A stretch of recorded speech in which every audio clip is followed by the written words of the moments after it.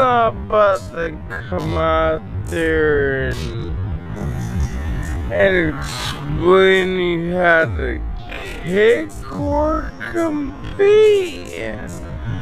Us kickers are always on our own. We're always by ourselves. Big kicks ourselves.